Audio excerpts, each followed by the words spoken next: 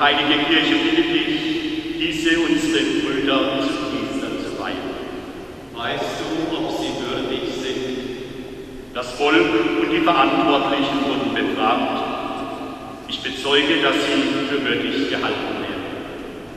Mit dem Beistand unseres Herrn und Gottes Jesus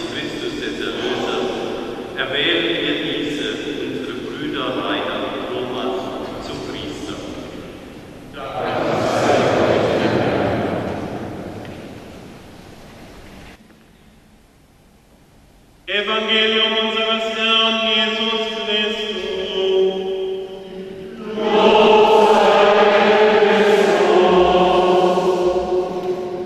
Liebe Schwestern und Brüder, lasst uns alle zuerst dem Herrn der Kirche, Jesus Christus, danken, dass er Rainer und Roman berufen hat und senden will. Lieber Rainer, lieber Roman, lebt aus eurer Berufung und lebt Berufung zum priesterlichen Dienst. Priesterliches Leben ist Gemeinschaft mit Jesus Christus und mit den Menschen. Gemeinschaft braucht Beziehung und Beziehung braucht Pflege. Priesterliches Leben gelingt immer dann und wird fruchtbar, wenn wir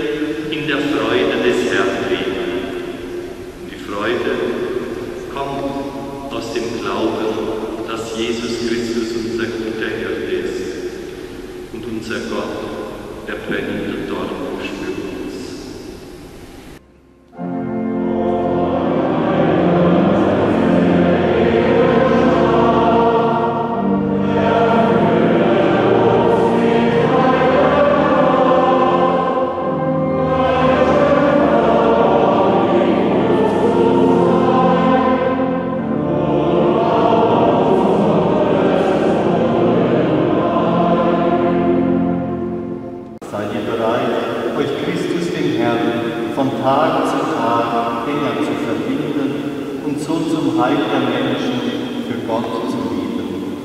Mit Gottes Hilfe bin ich bereit.